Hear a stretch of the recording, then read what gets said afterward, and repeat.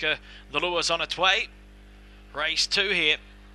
Set and they're off. Beginning very fast. Electrovolt out of box number five. And it'll lead as they settle into stride ahead of Intensify. And moving up third on the outside is Scarlet Blue Boy.